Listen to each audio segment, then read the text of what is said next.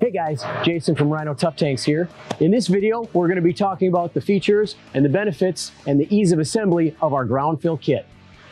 So the primary features and benefits of the ground fill kit is so that once assembled, you'll be able to safely and cleanly fill an elevated tank without required use of a step ladder. So to move into what's included in the RTT 2880 ground fill kit, we've got a 60 inch vertical tube.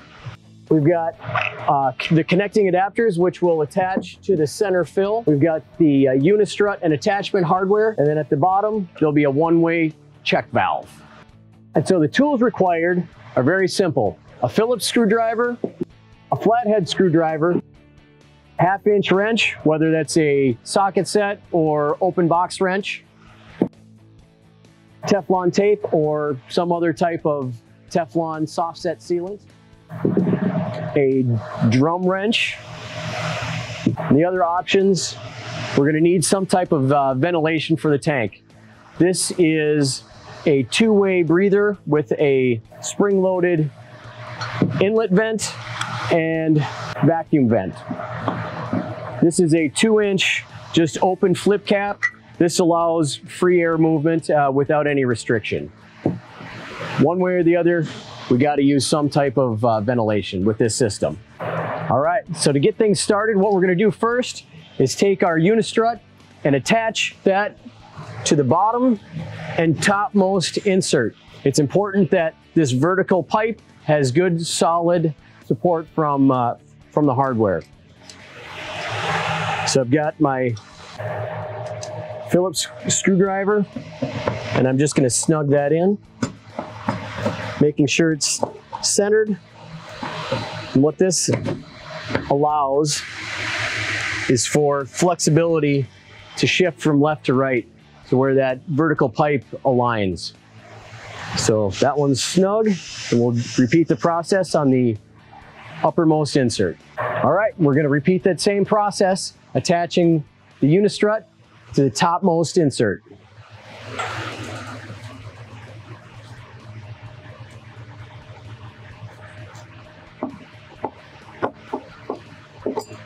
So we wanna make sure that it's centered.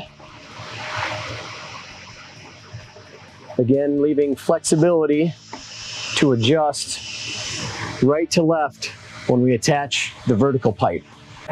All right, the next step is gonna be attaching the 90 degree pipe inlet adapter to the center fill of the tank. Now keep in mind, the NPT threads need to be coated sufficiently with either a soft set sealant or in this case, we used a Teflon tape.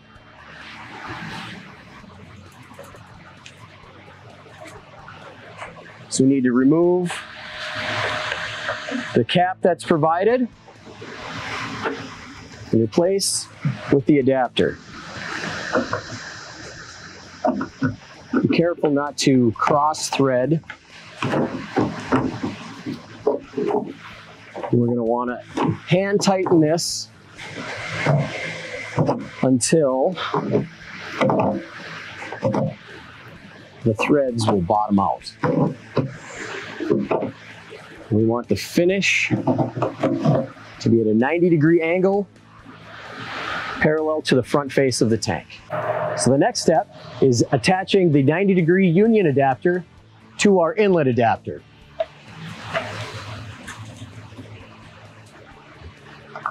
It's important to make sure that this O-ring that's inside of the union is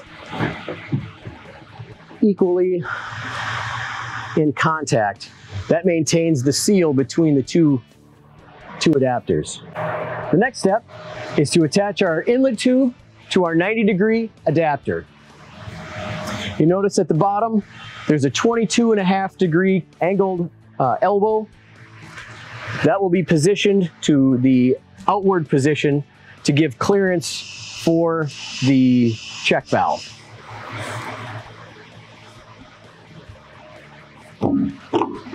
Just like the horizontal attachment,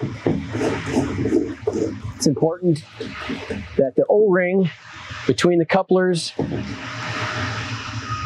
is in equal contact, making sure there's a seal across both openings. Now we'll position, we'll position the vertical pipe so we can attach clamps to the top and bottom, securing it into place. So the next step is to attach our two inch pipe to our unistrut using our clamp kit.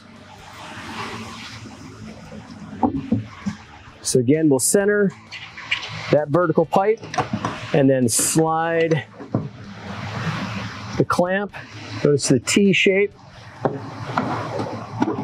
And that allows for a nice, secure attachment to the unistrut. And we're just gonna, we're just gonna hand tighten the nut and bolt for now, just to secure it into place. And then once we get the top bracket in place, we'll come back and secure everything with a flathead screwdriver and half inch wrench. All right, now we're gonna do the same thing at the top.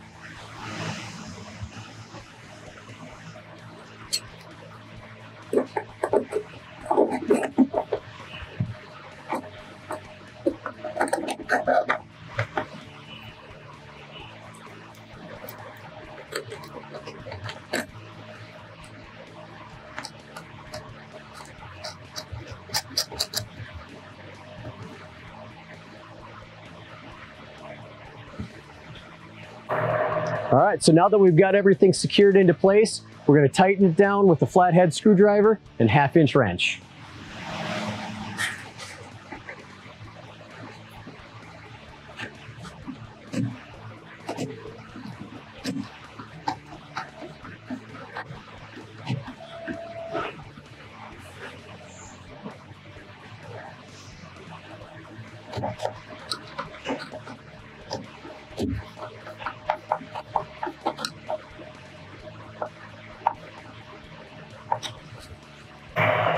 Now we're gonna add threaded sealant to our bottom fitting. It's important we go in a clockwise fashion.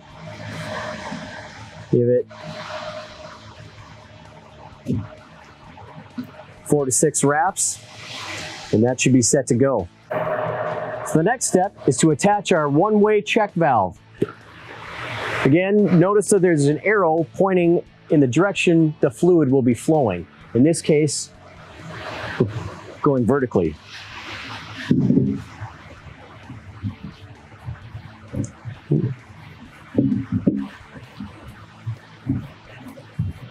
You want to screw that on until it's snug.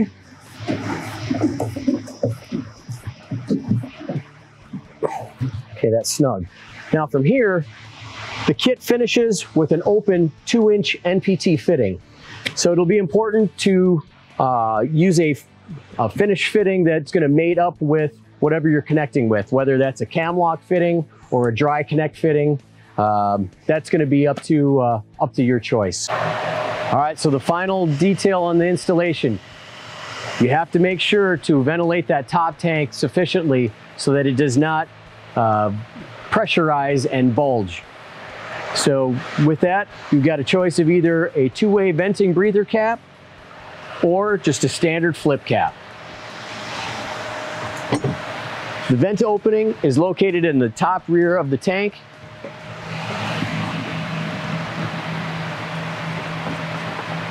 Got just a standard two inch drum bung.